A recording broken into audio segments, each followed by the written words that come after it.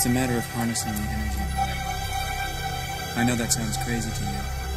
You beings are eons away from discovering light travel. You Travel at the speed of light?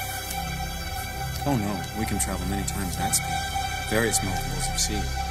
Otherwise, the trip here would have taken about a thousand years, now wouldn't it? What if um, I were to tell you that according to a man who lived on our planet named Einstein, nothing can travel faster than the speed of light? I would say that you've misread Einstein. May I call you Mark?